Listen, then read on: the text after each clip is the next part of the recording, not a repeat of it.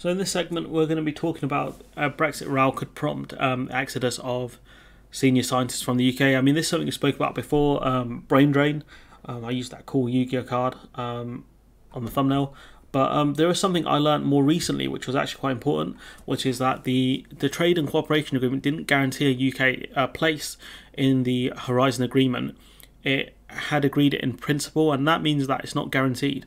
Um, and that's something I didn't actually know. So, regardless of whether the UK paid into the Horizon budget or not, the UK's place wasn't guaranteed at the time. So, if the EU want to get you know get rid of our place in Horizon, or more appropriately, you know block our place in Horizon, they are okay to do so purely because legally the UK wouldn't have a leg to stand on because uh, it was only an agreement in principle. Um, it wasn't guaranteed. So yeah, that's something I didn't know. So now I know, and you also know if you're listening. So um, that's an important point to make because I've made I haven't said that in the past. So the UK is facing an exodus of star scientists with at least 16 recipients of prestigious European grants making moves to, to making plans to move their labs abroad. With these European grants as well, it's not just the money they receive; it's the prestige of the grants. Um, this is something the article talks about a lot. That these um, grants are seen as, you know, the Champions League of grants. That this is the top table essentially. This is the the highest level. Britain's participation Horizon has been caught in the crosshairs of a dispute over the protocol, uh, meaning that 143 UK based recipients of the European Research Council fellowships, that's a mouthful, this week faced a deadline of either relinquishing their grant, so essentially giving the money back, or transferring it to an institute in a, an eligible country. So they, they might have to just either send back the uh, grant money or they would have to move or send the uh, grant over to some another institution, another university potentially, uh, for them to carry out the work. And whether the scientists that actually got the original grant continue to work on it would depend on uh, visas and things like that, which is um, which is sad to be honest when these people work so hard. The government has promised to underwrite the funding, totaling about £250 million. Um, so the government are claiming they're going to um, basically compensate these scientists, but that's not going to work, especially when you know the government wouldn't have anticipated us to be kicked out of Horizon, in my opinion. So you know the fact that the far- the government haven't got the farmer subsidy sorted out um, when they were meant to have that planned out tells me that they will definitely not be able to help these scientists out. You know, paying unplanned subsidies is not going to happen. A growing number of scientists appear likely to reject the offer and instead relocate along with entire teams of researchers and that's a huge problem for the UK. We're going to lose a lot of, you know, highly skilled um, highly skilled scientists who are going to be, you know, studying a wide range of things and selling their services to the EU essentially. Um, this is a huge problem for Great Britain, let's be honest here.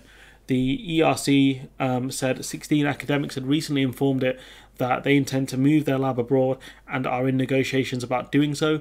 These researchers and some others have been given an extension before their grants are terminated, so that makes sense that you know they're looking to move um, into the EU, for example. Um, so you know they they've got a bit longer to um, decide what to do with the grants. Uh, Mortis Treek who is due to receive 2 million euros over five years from the ERC to study the malaria pathogen. And again, you know, that this sort of work can do great things for countries that um, have to deal with malaria. You know, malaria is a horrible, horrible illness. Um, and it's very easily to get infected with it in certain countries. Um, I hate mosquitoes. Um, and, you know, this person's work could be detrimental to trying to help people with malaria. I'm not saying they're guaranteed to make a breakthrough, but they've got a shot at doing something with it. Um, and the simple fact is their research has been put at jeopardy because of the British government.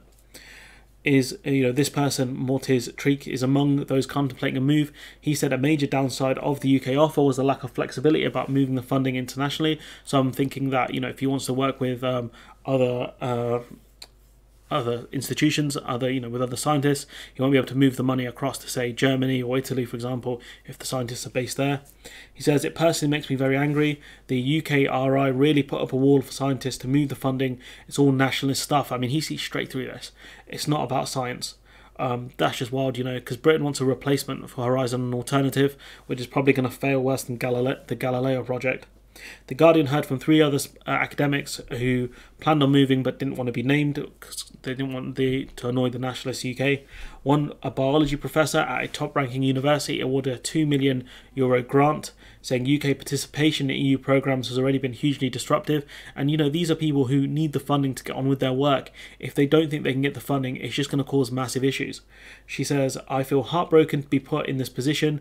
Either I leave at a huge personal and professional cost, or I stay and I miss out on career changing opportunities. And these are people who may have to end up leaving their families um, behind, you know, their wider families behind in order to move to an EU country where they're going to have to get used to a new environment and new colleagues in order to carry out their work. But, you know, this is, you know, not necessarily saying it's the opportunity of a lifetime, but it's not a million miles away from there. This was supposed to be a massive achievement and recognition of our standing as scientists. Instead, I feel hugely stressed. Um, she says another said the offer to match the 2 million euro funding she had been awarded to research the roots of populism in the 21st century. I mean, I, I, don't know if the British government will be re- replacing funding for that, given that uh, we have quite the populist government. Um, you know, this money would not replace the prestige of ERC grants, which are viewed as the Champions League of academic fellowships. And for those who don't follow football, the Champions League is the pinnacle of football. It's not the World Cup.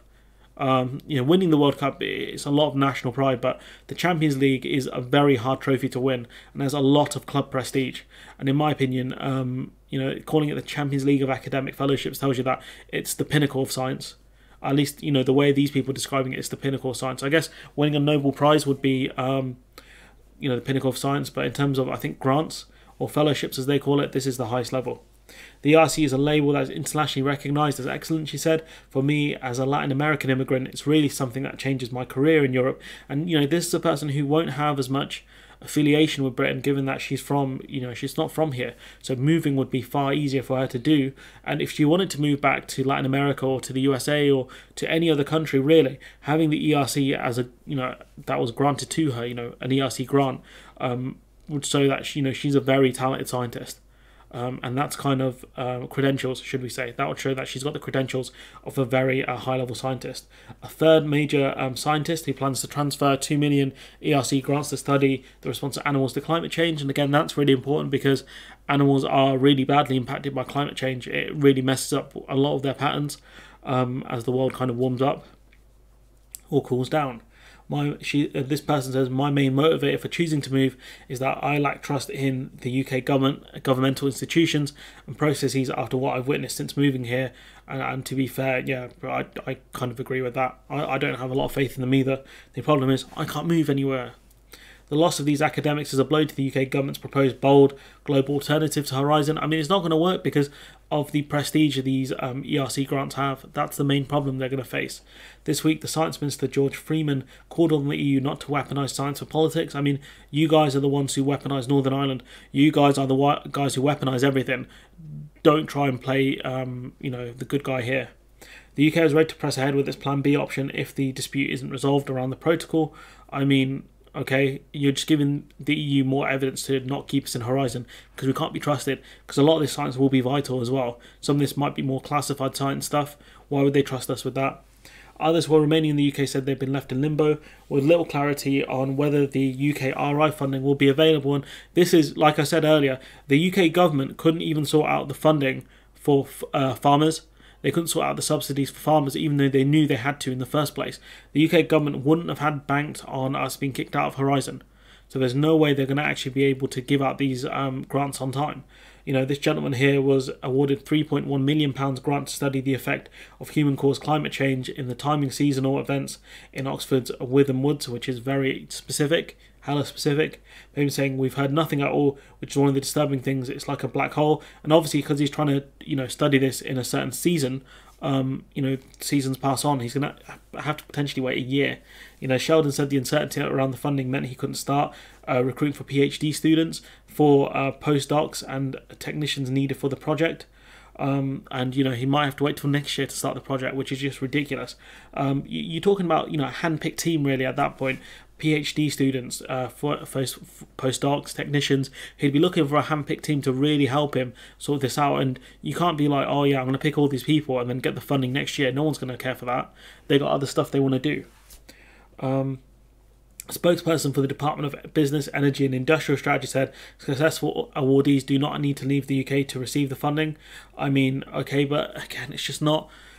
I, I genuinely, some of these like token government statements make no sense. Um, the guarantee that eligible successful applicants will receive the full value of their funding at their at their UK host institution for the lifetime of their grant. But the problem is it's not just about the money, it's the prestige of receiving these grants, and that's something the UK cannot replace.